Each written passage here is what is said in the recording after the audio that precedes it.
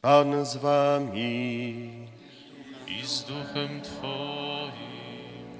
Słowa Ewangelii według świętego Łukasza. Chwała Tobie, Panie. Jezus powiedział do swoich uczniów: Powiadam wam, którzy słuchacie, miłujcie waszych nieprzyjaciół, dobrze czyńcie tym, którzy was nienawidzą, błogosławcie tym, którzy was przeklinają i módlcie się za tych, którzy was oczerniają. Jeśli cię kto uderzy w policzek, nadstaw mój drugi. Jeśli bierze ci płaszcz, nie broń i szaty. Daj każdemu, kto cię prosi, a nie dopominaj się od tego, który bierze twoje. Jak chcecie, żeby ludzie wam czynili, podobnie i wy im czyńcie. Jeśli bowiem miłujecie tylko tych, którzy was miłują, jakaż to dla was wdzięczność? Przecież i grzesznicy miłość okazują tym, którzy ich miłują. Jeśli dobrze czynicie tym tylko, którzy wam dobrze czynią, jaka za to dla was wdzięczność? I grzesznicy to samo czynią. Jeśli pożyczek udzielacie tym, od których spodziewacie się zwrotu, jakaż za to dla was wdzięczność? I grzesznicy grzesznikom pożyczają, żeby tyleż samo otrzymać. Wy natomiast miłujcie waszych nieprzyjaciół, czyńcie dobrze i pożyczajcie, niczego się za to nie spodziewając, a wasza nagroda będzie wielka i będziecie synami Najwyższego, ponieważ On jest dobry dla niewdzięcznych i złych. Bądźcie miłosierni, jak Ojciec Wasz jest miłosierny. Nie sądźcie, a nie będziecie sądzeni. Nie potępiajcie, a nie będziecie potępieni. Odpuszczajcie, a będzie wam odpuszczone. Dawajcie, a będzie wam dane, miarą dobrą, natłoczoną, trzęsioną i opływającą wsypią zanadrza wasze. Odmierzą wam bowiem taką miarą, jaką wy mierzycie. Oto słowo Pańskie. Chwała Tobie, Chryste. Moi drodzy, przed chwilą usłyszany fragment Ewangelii, słowa Pana Jezusa skierowane do Jego uczniów, czyli do nas, to trudne słowa. Słowa, które można by też streścić słowami świętego Pawła. Nie daj się zwyciężyć złu, ale zło dobrem zwyciężaj. Złem jest, jeżeli ktoś jest wobec nas nastawiony w sposób nienawistny, przeklina nas, oczernia. A my co mamy wtedy uczynić? Nie odpowiadać tym samym. Przede wszystkim mamy być wolni, wolni od tych różnych prowokacji, wolni od chęci zemsty, tak jak modlił się o to ksiądz Jerzy Popiełuszko, od odwetu, wolni też od chciwości, od takiego skupienia wszystkiego na sobie. Człowiek wolny może wtedy kochać. Kochać miłością, która pochodzi od Boga, bezinteresowną. Miłość, która czyni dobrze. I tutaj potrzeba tej, w tej miłości pewnej mądrości. I sam Pan Jezus te słowa później swoim życiem komentuje, wyjaśnia. I Pismo Święte ma to do siebie, że trzeba wyjaśniać całym Pismem Świętym. Jeden fragment wyrwany może być źle zrozumiany. Zauważmy, że Pan Jezus, kiedy był przed Sanhedrynem przesłuchiwany i kiedy żołnierz uderzył Pana Jezusa w policzek, krzycząc, tak odpowiadasz arcykapłanowi, wtedy Pan Jezus nie nadstawił drugiego policzka i powiedział, a teraz możesz mnie uderzyć w drugi policzek. Nie, powiedział, dlaczego mnie bijesz? Jeżeli coś złego powiedziałem, udowodnij mi, a jeżeli dobrze, to dlaczego mnie bijesz? Miłość to jest pragnienie dobra dla tego człowieka. jeżeli można powstrzymać człowieka od czynienia zła, to jest miłość. To jest miłość. Upominanie jest e, pierwszym takim uczynkiem miłosiernym co do duszy. Jeżeli można oczywiście upominać, bo są też sytuacje, w których upomnienie nic nie pomoże. Następnego dnia, kiedy już był Pan Jezus przesłuchiwany i skazany przez Piłata na ubiczowanie, wtedy trudno Panu Jezusowi by było upominać żołnierzy rzymskich. Jest napisane, że nawet nie otworzył swoich ust, kiedy był biczowany. To nie był tylko drugi policzek, ale to było mnóstwo różnych uderzeń. Prawdopodobnie Pan Jezus wtedy się za nich modlił. Módlcie się za tych, którzy was oczerniają. A na krzyżu wołał: Ojcze, przebacz im, bo nie wiedzą, co czynią. To jest postawa Chrystusa. Żeby się tej postawy uczyć i być wolnym od takiego skupienia na sobie, dochodzenia swoich własnych praw, a szukania dobra drugiego, to również trzeba zrozumieć, na czym miałoby polegać na przykład pożyczanie, bo gdybyśmy tak dosłownie znowu tutaj przyjęli taką zasadę, to zdarza się rzadko, ale bywają takie rodziny, gdzie ojciec zapomina o swoich dzieciach, o swojej żonie i chce być dobry dookoła dla wszystkich sąsiadów, wszystko rozdaje, bo kiedy ktoś go o coś poprosi, to od razu oddaje i ta rodzina stała się biedna. Czy to jest dobre? Jeżeli ktoś jest ojcem, to przede wszystkim ma obowiązek zatroszczyć się o dobro swojej rodziny. W związku z tym to dobro zawsze musi być w jakimś kontekście, żeby to było rzeczywiście prawdziwe dobro.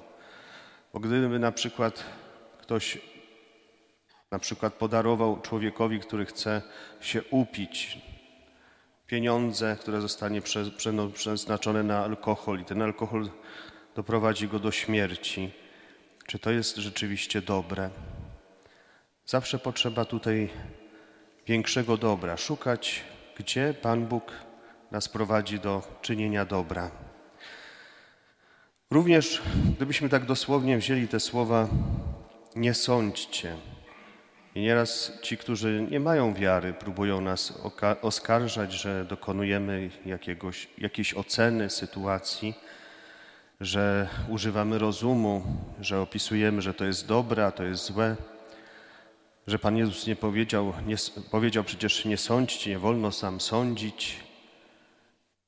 Nie, chodzi o to, żeby nikogo nie potępić, nie skreślić w swoich oczach. Jeżeli ja dokonuję pewnej oceny sytuacji, to widzę, gdzie jest dobro, gdzie jest zło.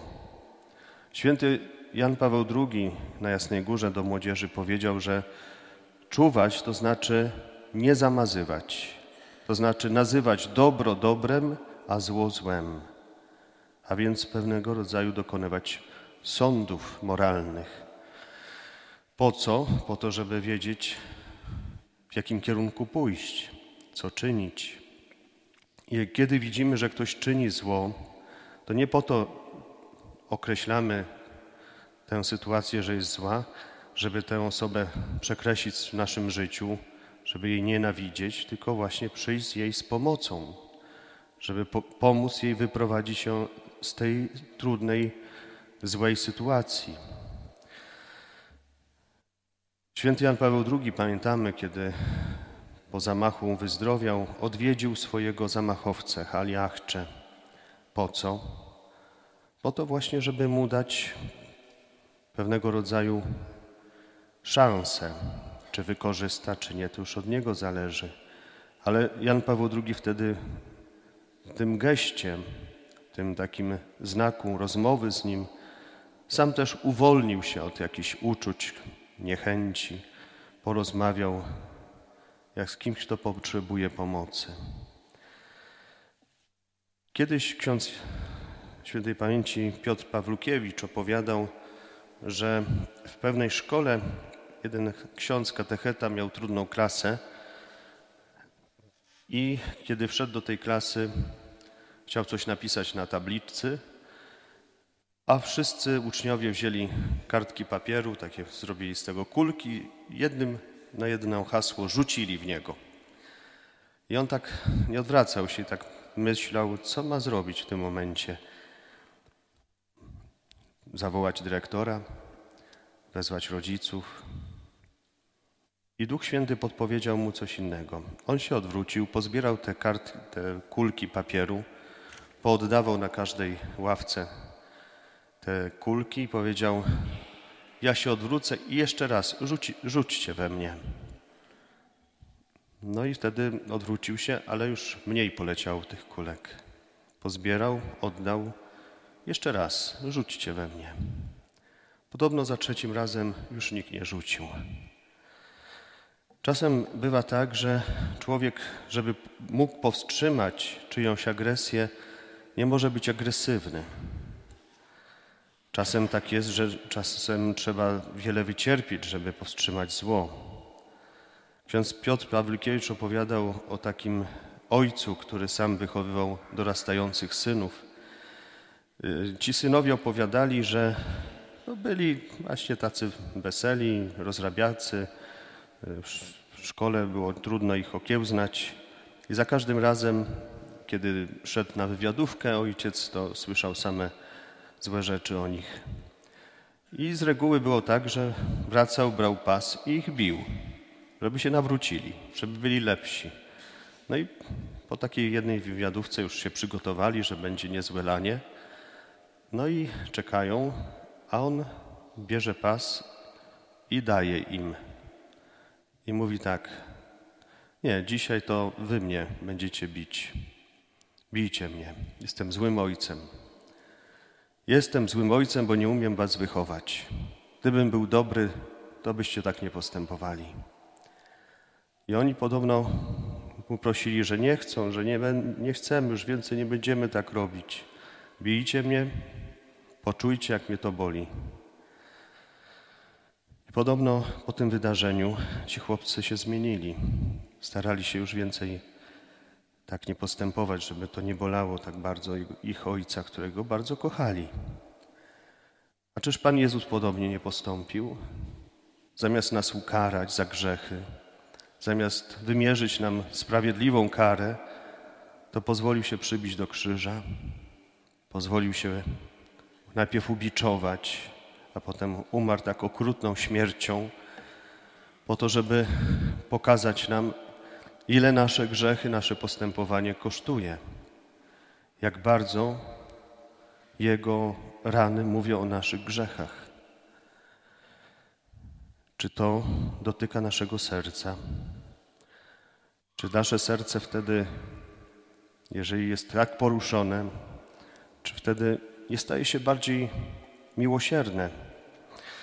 Miłosierne wobec drugiego człowieka, wobec nas samych, ale takim mądrym miłosierdziem. Odmierzą wam bowiem taką miarą, jaką wy mierzycie. Jaka jest nasza miara tego miłosierdzia wobec drugiego człowieka? Ciągle za mała. Pan Jezus nie mówi, bądźcie miłosierni tak jak miłosierny jakiś człowiek, jakiś wzór. Ojciec wasz jest miłosierny. Ojciec, który jest w niebie. Ktoś może powiedzieć, ale to za daleko, taki wzór, to jest ideał, to jest Bóg. Ale to jak z gwiazdami. Gwiazdy nie są po to, żeby ich dotykać, bo są tak bardzo odległe.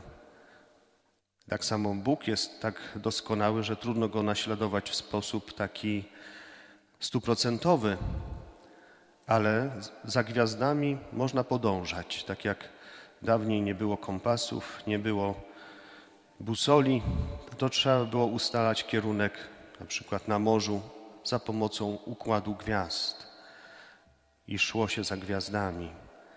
Tak jak mędrcy ze wschodu szli za gwiazdą betlejemską.